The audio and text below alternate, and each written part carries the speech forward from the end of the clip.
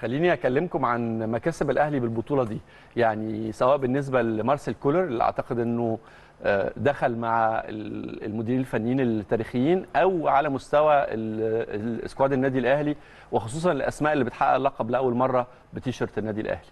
يعني يمكن يا أحمد ال- الانتصار ال- اللي حققه النادي الأهلي يوم السبت والتتويج ال- بالنجمة الثانية عشر في تاريخ النادي الأهلي 12 بطولة أفريقية رقم آه، قياسي.